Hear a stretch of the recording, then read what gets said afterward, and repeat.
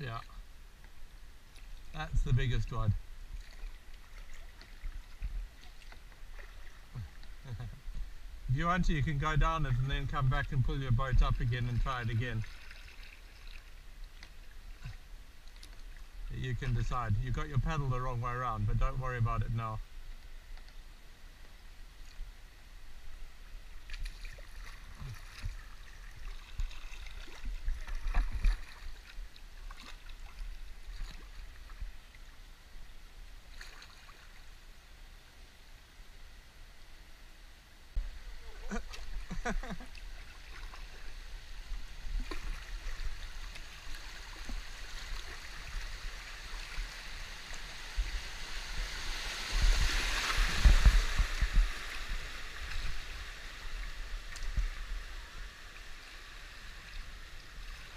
What do you say?